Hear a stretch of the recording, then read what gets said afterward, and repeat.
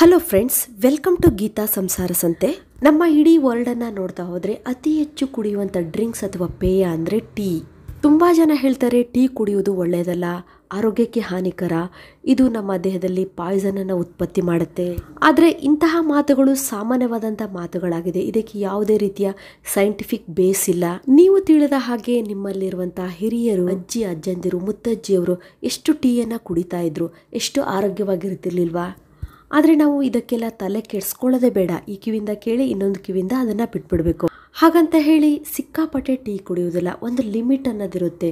ಅತಿಯಾಗಿ ಮಿತಿಮೀರಿ ಟೀ ಕುಡಿಯುವುದು ಸೈಡ್ ಎಫೆಕ್ಟ್ ಆಗ್ಬೋದು ನಿಮ್ಮ ಆರೋಗ್ಯದಲ್ಲಿ ಏರ್ಪೇರು ಉಂಟಾಗಬಹುದು ಈ ರೀತಿ ಸೈಡ್ ಎಫೆಕ್ಟ್ ಅನ್ನೋದು ನಾವು ಉತ್ತಮವಾದಂತಹ ಪೋಷಕಾಂಶವುಳ್ಳ ಆಹಾರ ಸೇವನೆಯಿಂದಲೂ ಕೂಡ ಉಂಟಾಗಬಹುದು ಒಂದ್ ವೇಳೆ ನಾವು ಹಾಲನ್ನ ಕುಡಿತಾ ಇದ್ರೆ ಅದು ಕೂಡ ಜಾಸ್ತಿ ಅತಿರೇಕ ಆದ್ರೂ ಕೂಡ ಇದರಿಂದ ಕೂಡ ಸೈಡ್ ಎಫೆಕ್ಟ್ ಆಗ್ಬೋದು ಅನಾನುಕೂಲ ಉಂಟಾಗಬಹುದು ಬರೀ ಟೀ ಕುಡಿಯುವುದರಿಂದಲೇ ನಮಗೆ ಸೈಡ್ ಎಫೆಕ್ಟ್ ಉಂಟಾಗತ್ತೆ ಅಂತಲ್ಲ ನಾವು ಯಾವುದೇ ಆಹಾರ ಪದಾರ್ಥಗಳನ್ನು ಅವಶ್ಯಕತೆಗಿಂತ ಹೆಚ್ಚಾಗಿ ಸೇವನೆ ಮಾಡುವುದರಿಂದ ದುಷ್ಪರಿಣಾಮಗಳು ಉಂಟಾಗುತ್ತೆ. ಇವತ್ತು ನಾವು ಎರಡು ಅದ್ಭುತವಾದಂಥ ಪದಾರ್ಥಗಳ ಬಗ್ಗೆ ಮಾಹಿತಿಯನ್ನು ತಿಳ್ಕೊಳ್ಳೋಣ. ಈ ಎರಡು ತುಂಬಾ ಮೆಡಿಸಿನಲ್ ವ್ಯಾಲ್ಯೂ ಇರುವಂತಹ ಪದಾರ್ಥಗಳನ್ನು ಬಳಸಿ ನಾವು ಟೀ ಮಾಡಿಕೊಂಡು ಕುಡಿದಾಗ ನಮಗೆ ಒಂದು ಒಳ್ಳೆಯ ಹೆಲ್ತ್ ಬೆನಿಫಿಟ್ಸ್ಗಳು ಅಂದರೆ ಚಿಕ್ಕ ಪುಟ್ಟ ಕಾಯಿಲೆಗಳು ಬರುವುದನ್ನು ನಾವು ತಡೆಗಟ್ಬೋದು ಮತ್ತು ನಾವು ದೊಡ್ಡ ಕಾಯಿಲೆಗಳಿಂದನೂ ಕೂಡ ದೂರ ಇರ್ಬೋದು. ಅದಲ್ಲದೆ ಟೀಯ ಒಂದು ರುಚಿ ಕೂಡ ಟೇಸ್ಟ್ ಕೂಡ ತುಂಬಾ ಜಾಸ್ತಿ ಆಗತ್ತೆ. ಹಾಗಾದರೆ ಈ ಟೀ ಮಾಡಲಿಕ್ಕೆ ಬಳಸುವಂಥ ಅದ್ಭುತ ಪದಾರ್ಥಗಳ ಯಾವುವು? ಅವುಗಳಿಂದ ಇನ್ನೂ ಏನೇನು ನಮಗೆ ಹೆಲ್ತ್ ಬೆನಿಫಿಟ್ಸ್ ಸಿಗುತ್ತೆ? ಆ ಪದಾರ್ಥಗಳನ್ನು ಎಷ್ಟು ಪ್ರಮಾಣದಲ್ಲಿ ನಾವು ಬಳಸಬೇಕು ಅನ್ನೋದನ್ನು ತಿಳ್ಕೊಳ್ಳೋಣ. ಅದಕ್ಕೂ ಮೊದಲು ಇಂತಹ ಒಳ್ಳೆಯ ವಿಡಿಯೋಗಳಿಗಾಗಿ ನೀವು ವೇಟ್ ಮಾಡ್ತಾ ಇದ್ರೆ ಒಂದು ಲೈಕ್ ಕೊಡೋದಂತೂ ಮರೀಲಿಬೇಡಿ ಫ್ರೆಂಡ್ಸ್ ಜೊತೆಗೆ ಯಾರು ಹೊಸಬರು ನನ್ನ ಚಾನಲ್ನ ನೋಡ್ತಿದ್ರೋ ಅವರು ನನ್ನ ಚಾನಲ್ನ ಸಬ್ಸ್ಕ್ರೈಬ್ ಮಾಡ್ಕೊಳ್ಳಿ ಮತ್ತು ಪಕ್ಕದಲ್ಲಿ ಒಂದು ಬೆಲ್ ಇದೆ, ಅದನ್ನು ಪ್ರೆಸ್ ಮಾಡಿ ನನ್ನ ಎಲ್ಲ ವೀಡಿಯೋಗಳ ನೋಟಿಫಿಕೇಷನ್ ನಿಮಗೆ ಫಸ್ಟ್ ತಲುಪತ್ತೆ. ಡೈಲಿ ನೀವು ಎರಡರಿಂದ ಮೂರು ಕಪ್ಪು ಟೀ ಕುಡಿಯೋದು ತುಂಬಾ ನಮ್ಮ ಆರೋಗ್ಯಕ್ಕೆ ಒಳ್ಳೆಯದು ಯಾಕಂದರೆ ಟೀಯಲ್ಲಿ ರಿಚ್ ಆದಂಥ ಆ್ಯಂಟಿ ಆಕ್ಸಿಡೆಂಟ್ಸ್ಗಳಿವೆ ಇವೆಲ್ಲವೂ ನಮ್ಮ ದೇಹದ ಆರೋಗ್ಯದ ಮೇಲೆ ಬೇರೆ ಬೇರೆ ರೀತಿಯ ಅನುಕೂಲಗಳನ್ನು ಉಂಟು ಮಾಡಿಕೊಡುತ್ತೆ. ಇನ್ನು ಮುಂದೆ ನೀವು ಟೀ ಮಾಡುವಾಗ ಈ ಪದಾರ್ಥಗಳನ್ನು ಸೇರಿಸಿ ಟೀ ಮಾಡಿಕೊಂಡು ನೀವು ಕುಡಿದಾಗ ಟೀಯಿಂದ ಸಿಗುವಂತಹ ಹೆಲ್ತ್ ಬೆನಿಫಿಟ್ಸ್ ಇನ್ನೂ ಜಾಸ್ತಿ ಆಗುತ್ತೆ. ಇವಾಗ ನಾವು ಟೀ ಮಾಡುವಾಗ ಮುಖ್ಯವಾಗಿ ಸೇರಿಸಲೇಬೇಕಾದಂಥ ಪದಾರ್ಥ ಅಂದರೆ ಶುಂಠಿ. ತುಂಬ ಜನ ಮನೆಯಲ್ಲಿ ಟೀ ಮಾಡುವಾಗ ಶುಂಠಿಯನ್ನು ಬೆರೆಸ್ತಾರೆ. ಆದರೆ ಕೆಲವೊಬ್ಬರು ಶುಂಠಿಯನ್ನು ಟೀಗೆ ಮಿಕ್ಸ್ ಮಾಡೋದಿಲ್ಲ. ಇದರಿಂದ ಅವರಿಗೆ ಶುಂಠಿಯಲ್ಲಿರುವಂತಹ ಮೆಡಿಸಿನಲ್ ಬೆನಿಫಿಟ್ಸ್ಗಳು ಸಿಗೋದಿಲ್ಲ. ಹಾಗಾಗಿ ನಾವು ಟೀ ಪ್ರಿಪೇರ್ ಮಾಡುವಾಗ ಜಿಂಜರನ್ನು ಆ್ಯಡ್ ಮಾಡೋದ್ರಿಂದ ಇದರಲ್ಲಿರುವಂತಹ ಔಷಧೀಯ ಗುಣಗಳು ನಮ್ಮ ದೇಹಕ್ಕೆ ಸಿಗುತ್ತೆ. ಅಂದ್ರೆ ನಮ್ಮ ಡೈಜೆಷನ್ ಅನ್ನು ಇಂಪ್ರೂವ್ ಮಾಡುತ್ತೆ. ಅದಲ್ಲದೆ ನಮಗೆ ಯಾವುದೇ ರೀತಿಯ ನೋವಿದ್ರೆ, ಕೀಲುಗಳಲ್ಲಿ ನೋವಾಗಿದ್ರೆ, ಮಂಡಿ ನೋವು, ಸೊಂಟ ನೋವು, ದೇಹದ ಮಸಲ್ಸ್ ಪೇನ್ ಆಗ್ತಿದ್ರು ಕೂಡ ಅಂತಹ ನೋವನ್ನು ಕಡಿಮೆ ಮಾಡುವಂಥ ಗುಣ ಈ ಶುಂಠಿಗಿದೆ ಇದು. ಜೀರ್ಣಶಕ್ತಿಗೂ ಒಳ್ಳೆಯದು ಅದಲ್ಲದೆ ನಮ್ಮ ಮೆಟಾಬಲಿಸಮ್ ರೇಟನ್ನು ಬ್ಯಾಲೆನ್ಸ್ ಮಾಡುತ್ತೆ. ನಮ್ಮ ದೇಹದಲ್ಲಿ ಬೇಡವಾದಂಥ ಬಜ್ಜನ್ನು ಕರಗಿಸ್ಲಿಕ್ಕೆ, ಕೊಬ್ಬನ್ನು ಕರಗಿಸ್ಲಿಕ್ಕೆ ಈ ಶುಂಠಿ ತುಂಬಾ ಸಹಾಯ ಮಾಡುತ್ತೆ.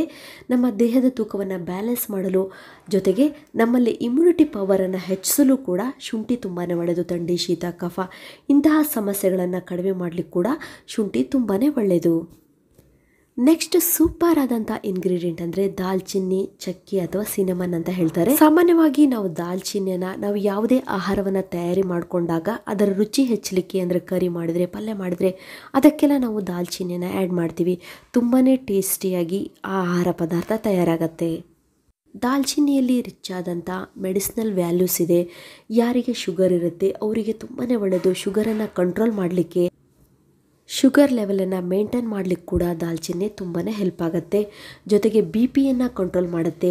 ಬಿ ಪಿಯನ್ನು ನಾರ್ಮಲ್ ಆಗಿಡಲು ಕೂಡ ಇದು ಹೆಲ್ಪ್ ಮಾಡುತ್ತೆ. ಇದೇ ದಾಲ್ಚಿನ್ನಿಲಿ ಆ್ಯಂಟಿ ಮೈಕ್ರೋಬಲ್ ಪ್ರಾಪರ್ಟೀಸ್ ಇರುವುದರಿಂದ ದೇಹದಲ್ಲಿ ಯಾವುದೇ ರೀತಿಯ ಇನ್ಫೆಕ್ಷನ್ ಇದ್ರೂ ಕೂಡ ಅದನ್ನ ಕಡಿಮೆ ಮಾಡುತ್ತೆ. ಇನ್ಫೆಕ್ಷನ್ ಆಗದಂತೆ ತಡೆಗಟ್ಟುತ್ತೆ. ಇನ್ನೂ ಅನೇಕ ಸಮಸ್ಯೆಗಳನ್ನು ಕಡಿಮೆ ಮಾಡುವಂಥ ಗುಣ ಈ ದಾಲ್ಚಿನ್ನಿಗಿದೆ. ಅದಲ್ಲದೆ ಟೀಗೆ ಒಂದು ವಿಶೇಷವಾದಂಥ ರುಚಿ ಕೊಡ್ಲಿಕ್ಕೆ ಕೂಡ ದಾಲ್ಚಿನ್ನಿ ತುಂಬಾ ಒಳ್ಳೆಯದು ನೀವು ದಾಲ್ಚಿನಿಯನ್ನು ಸೆಲೆಕ್ಷನ್ ಮಾಡುವಾಗ, ಚಕ್ಕೆ ಅಂತ ಹೇಳ್ತೀವಲ್ಲ, ಇದನ್ನು ಸೆಲೆಕ್ಷನ್ ಮಾಡುವಾಗ ಶ್ರೀಲಂಕನ್ ಸಿನಿಮನ್ ಅಂತ ಹೇಳಿ ಇವಾಗ ತುಂಬ ಚೆನ್ನಾಗಿ ಬರುತ್ತೆ ಕ್ವಾಲಿಟಿ ಕೂಡ ಒರಿಜಿನಲ್ ಆಗಿರುತ್ತೆ. ಇಂತಹ ದಾಲ್ಚಿನ್ನಿಯನ್ನು ನೀವು ಬಳಸೋದ್ರಿಂದ ನಿಮ್ಗೆ ಅದರಲ್ಲಿರುವಂಥ ವಿಶೇಷವಾದಂಥ ಅದ್ಭುತವಾದಂಥ ಮೆಡಿಸಿನಲ್ ಬೆನಿಫಿಟ್ಸು ನಿಮಗೆ ಸಿಗುತ್ತೆ. ಈ ದಾಲ್ಚಿನ್ನಿ ನಿಮಗೆ ಎಲ್ಲ ಗ್ರಾಸರಿ ಶಾಪಲ್ಲಿ ಸಿಗುತ್ತೆ ಮತ್ತು ಆನ್ಲೈನಲ್ಲೂ ಸಿಗುತ್ತೆ. ಯಾಕಂದರೆ ನಾವು ಒರಿಜಿನಲ್ ಕ್ವಾಲಿಟಿ ಇರುವ ಪದಾರ್ಥಗಳನ್ನು ಬಳಸಿದಾಗ ಅದರಿಂದ ನಮಗೆ ಒರಿಜಿನಲ್ ಆಗಿ ಮೆಡಿಸಿನಲ್ ಪ್ರಾಪರ್ಟೀಸ್ ಅದರಿಂದ ಒಳ್ಳೆ ಹೆಲ್ತ್ ಬೆನಿಫಿಟ್ಸ್ ನಮಗೆ ಸಿಗುತ್ತೆ. ಈ ಎರಡು ಪದಾರ್ಥಗಳ ಜೊತೆಗೆ ಬೋನಸ್ ಆಗಿ ನೀವು ಇನ್ನೊಂದು ಪದಾರ್ಥ ಸೇರಿಸೋದಾದರೆ ಚಿಕ್ಕ ಏಲಕ್ಕಿ ನೋಡಿ. ಏಲಕ್ಕಿನ ನೀವು ಟೀಗೆ ಸೇರಿಸೋದ್ರಿಂದ ಟೀಗೆ ಒಳ್ಳೆ ಒಂದು ಫ್ಲೇವರ್ ಬರುತ್ತೆ. ಜೊತೆ ಜೊತೆಗೇ ನಮಗೆ ಒಂದು ಒಳ್ಳೆ ಹೆಲ್ತ್ ಬೆನಿಫಿಟ್ಸ್ ಕೂಡ ಕೊಡುತ್ತೆ. ಈ ಏಲಕ್ಕಿ ನಮ್ಮ ಡೈಜೆಷನ್ ಇಂಪ್ರೂವ್ ಮಾಡುತ್ತೆ? ನಮ್ಮ ದೇಹದಲ್ಲಿ ಯಾವುದೇ ರೀತಿಯ ಬ್ಲೂಟಿಂಗ್ ಆಗ್ತಾ ಇದ್ರೆ ಅದನ್ನ ಕಡಿಮೆ ಮಾಡುತ್ತೆ. ರಕ್ತನಾಳಗಳಿಗೆ ಒಂದು ಎನರ್ಜಿನ ಕೊಡುತ್ತೆ. ರಕ್ತನಾಳಗಳ ವೀಕ್ನೆಸ್ ಅನ್ನ ಕಡಿಮೆ ಮಾಡುತ್ತೆ. ಇನ್ನೂ ಹಲವಾರು ಸಮಸ್ಯೆಗಳನ್ನು ಕಡಿಮೆ ಮಾಡುವಂತ ಗುಣ ಈ ಏಲಕ್ಕಿ ಇದೆ. ಇವಾಗ ನಾವು ಟೀ ಮಾಡಲಿಕ್ಕೆ ಯಾವ ಯಾವ ಪದಾರ್ಥಗಳನ್ನು ಎಷ್ಟೆಷ್ಟು ಬಳಸಬೇಕು ಅನ್ನೋದನ್ನು ನೋಡೋಣ. ಇಲ್ಲಿ ನಾನು ಶುಂಠಿಯನ್ನು ಕಾಲು ಚಮಚದಷ್ಟು ಯೂಸ್ ಮಾಡ್ತಾ ಇದ್ದೀನಿ ನೋಡಿ. ನೆಕ್ಸ್ಟ್ ನಾವು ಒಂದು ಏಲಕ್ಕಿನ ತಗೊಳ್ಳೋಣ ಅದನ್ನು ಸಿಪ್ಪೆ ಸಮೇತ ಇದಕ್ಕೆ ಹಾಕೊಳ್ಳೋಣ. ನೆಕ್ಸ್ಟ್ ಇದಕ್ಕೆ ಕಾಲು ಟೀ ಸ್ಪೂನಷ್ಟು ದಾಲ್ಚಿನ್ನಿ ಪೌಡ್ರನ್ನ ಮಿಕ್ಸ್ ಮಾಡ್ಕೊಳ್ಳೋಣ. ನೆಕ್ಸ್ಟ್ ಇದಕ್ಕೆ ಒಂದು ಟೀ ಸ್ಪೂನ್ ಟೀ ಪೌಡ್ರನ್ನ ಮಿಕ್ಸ್ ಮಾಡ್ಕೊಳ್ಳೋಣ. ಡೈಲಿ ಯಾವ ಟೀ ಪೌಡ್ರನ್ನ ನೀವು ಯೂಸ್ ಮಾಡ್ತೀರೋ ಅದನ್ನೇ ಮಿಕ್ಸ್ ಮಾಡಿ. ಇವಾಗ ಇದನ್ನು ಸ್ಟವ್ ಮೇಲಿಟ್ಟು ಚೆನ್ನಾಗಿ ನಾವು ಕುದಿಸ್ಬೇಕು. ಯಾಕಂದರೆ ನಾವು ಇಲ್ಲಿ ಸೇರಿಸಿದಂಥ ಎಲ್ಲ ಪದಾರ್ಥಗಳು ಅದರ ಸತ್ವವನ್ನು ಚೆನ್ನಾಗಿ ನೀರಿನಲ್ಲಿ ಟೀ ಡಿಕಾಕ್ಷನಲ್ಲಿ ಬಿಡಬೇಕು. ಈ ರೀತಿ ನಾವು ಚೆನ್ನಾಗಿ ಸ್ಟವನ್ನು ಸಿಮ್ಮಲ್ಲಿಟ್ಟು ಕುದಿಸುವುದರಿಂದ ಟೀಯಲ್ಲಿರುವಂಥ ಆ್ಯಂಟಿ ಆಕ್ಸಿಡೆಂಟ್ಸ್ಗಳು ಮತ್ತು ಎರಡು ಅಥವಾ ಮೂರು ಇಂಗ್ರೀಡಿಯೆಂಟ್ಸ್ಗಳ ಆಲ್ಕಲೇಟ್ಸ್ಗಳು ಚೆನ್ನಾಗಿ ನೀರಿನಲ್ಲಿ ಡಿಸಾಲ್ವ್ ಆಗುತ್ತೆ. ಟೀಯನ್ನು ನಾವು ಎಷ್ಟು ಚೆನ್ನಾಗಿ ಕುದಿಸ್ತೀವೋ ಅದರಲ್ಲಿರುವಂಥ ಸತ್ವಗಳು ಚೆನ್ನಾಗಿ ಟೀಯಲ್ಲಿ ಬರುತ್ತೆ. ಟೀ ಚೆನ್ನಾಗಿ ಕುದ್ದಾದ್ಮೇಲೆ ಮತ್ತೆ ಹಾಲಾಕಿ ಸ್ವಲ್ಪ ಕುದಿಸಿದ್ರೆ ಸಾಕು. ಹಾಲನ್ನು ಸೇರಿಸಿದೆಯೇ ನೀವು ಬ್ಲ್ಯಾಕ್ ಟೀಯನ್ನು ಕುಡಿಬೋದು. ಅದು ತುಂಬಾನೇ ಆರೋಗ್ಯಕ್ಕೆ ಒಳ್ಳೆಯದು ಇವಾಗ ಇನ್ನೊಂದು ಅಂಶವನ್ನು ನೀವು ಗಮನದಲ್ಲಿ ಇಟ್ಕೋಬೇಕು. ನೀವು ಟೀಯಿಂದ ಇನ್ನೂ ಹೆಚ್ಚಿಗೆ ಆರೋಗ್ಯವನ್ನು ಪಡಿಬೇಕು ಅಂದರೆ ಟೀಗೆ ನೀವು ಸಕ್ಕರೆ ಬದಲಾಗಿ ಬೆಲ್ಲವನ್ನು ಮಿಕ್ಸ್ ಮಾಡಿ. ನಾವು ಡೈಲಿ ಮಿನಿಮಮ್ ಅಂದ್ರೂ ಎರಡರಿಂದ ಮೂರು ಕಪ್ ಟೀಯನ್ನು ಕುಡಿದೇ ಕುಡಿದೀವಿ ಇದರಿಂದ ಏನಾಗುತ್ತೆ? ನಾವು ಡೈಲಿ ಮೂರು ಕಪ್ ಸಕ್ಕರೆಯನ್ನು ನಮ್ಮ ದೇಹದೊಳಗೆ ಸೇರಿಸ್ತೀವಿ. ಅದ್ರ ಬದಲು ನಾವು ಟೀಯನ್ನು ಹಾಗೆ ಕುಡಿಬೋದು. ಟೀ ತುಂಬಾ ಲೈಟಾಗಿ ಸ್ವೀಟ್ ಇರುತ್ತೆ, ಅಷ್ಟೇ ಟೇಸ್ಟಿಯಾಗಿರುತ್ತೆ ಕಾರಣ ನಾವು ಇದರಲ್ಲಿ ದಾಲ್ಚಿನ್ನಿಯನ್ನು ಬಳಸಿದ್ದೀವಲ್ಲ ಅದರ ಸ್ವೀಟ್ ಕೂಡ ಟೀಯಲ್ಲಿ ಬಂದಿರುತ್ತೆ. ಇನ್ನು ಡೈಲಿ ನೀವು ಎರಡರಿಂದ ಮೂರು ಕಪ್ಪು, ಜಾಸ್ತಿ ಅಂದರೆ ನಾಲ್ಕು ಕಪ್ಪು, ಇದಕ್ಕಿಂತ ಜಾಸ್ತಿ ಮಾತ್ರ ಟೀಯನ್ನು ಡೈಲಿ ನೀವು ಕುಡಿಲೇಬಾರ್ದು. ಯಾವತ್ತೂ ನೀವು ಊಟ ಆದ ತಕ್ಷಣ ಟೀಯನ್ನು ಮಾತ್ರ ಕುಡಿಬೇಡಿ. ಯಾಕಂದರೆ ನಾವು ಸೇವಿಸಿದಂಥ ಆಹಾರದಲ್ಲಿರುವಂಥ ಐರನ್ ಮತ್ತು ಕೆಲವೊಂದು ನ್ಯೂಟ್ರಿಯೆಂಟ್ಸ್ಗಳ ಅಬ್ಸಾರ್ಪ್ಷನ್ ಸರಿಯಾಗಿ ಆಗೋದಿಲ್ಲ.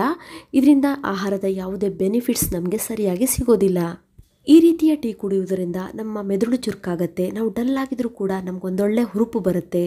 ನೋಡಿದ್ರಲ್ಲ ಫ್ರೆಂಡ್ಸ್ ಟೀ ಜೊತೆಗೆ ಈ ರೀತಿಯ ಮೆಡಿಸಿನಲ್ ವ್ಯಾಲ್ಯೂಸ್ ಇರುವಂತಹ ಇಂಗ್ರೀಡಿಯೆಂಟ್ಸನ್ನು ಆ್ಯಡ್ ಮಾಡಿ ಕುಡಿಯೋದ್ರಿಂದ ನಮ್ಮ ದೇಹದ ಆರೋಗ್ಯಕ್ಕೆ ಎಷ್ಟು ಒಳ್ಳೆಯದು ಅಂತ ಹೇಳಿ ಇದುವರೆಗೂ ನನ್ನ ವಿಡಿಯೋ ನೋಡೋದಕ್ಕೆ ನಿಮಗೆಲ್ಲರಿಗೂ ಧನ್ಯವಾದಗಳು. ಇದೇ ರೀತಿಯ ಉತ್ತಮ ಮಾಹಿತಿಯುಳ್ಳ ವಿಡಿಯೋಗಳಿಗಾಗಿ ನನ್ನ ಚಾನಲ್ನ ಸಬ್ಸ್ಕ್ರೈಬ್ ಮಾಡ್ಕೊಳ್ಳಿ. ಅವಶ್ಯಕತೆ ಇರೋರಿಗೆ ಈ ವಿಡಿಯೋನ ಶೇರ್ ಮಾಡಿ. ಮತ್ತೆ ಭೇಟಿ ಹೋಗೋಣ ಹೊಸದೊಂದು ವಿಡಿಯೋದೊಂದಿಗೆ till and be happy take care bye